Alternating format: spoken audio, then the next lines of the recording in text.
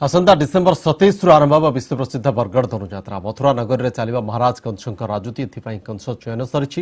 ଭୁବନେଶ୍ୱର ପ୍ରଧାନ ଦୀର୍ଘ ସତର ବର୍ଷ ପରେ ପୁଣି କଂସ ଭୂମିକାରେ ଅବତୀର୍ଣ୍ଣ ହେବେ ସେପଟେ ଧନୁଯାତ୍ରା ପାଇଁ ଆଜି ଅପରାହ୍ନରେ ଗୋପପୁର ଅମ୍ବାପାଲିରେ ଶୁଭସ୍ତମ୍ଭ ସ୍ଥାପନ କରାଯିବ ଏଥିସହ କୃଷ୍ଣ ବଳରାମଙ୍କ ସମେତ ଅନ୍ୟ କଳାକାରଙ୍କୁ ବରଣ କରାଯିବାର କାର୍ଯ୍ୟକ୍ରମ ରହିଛି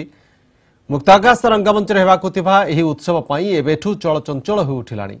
ବରଗଡ଼ ସହର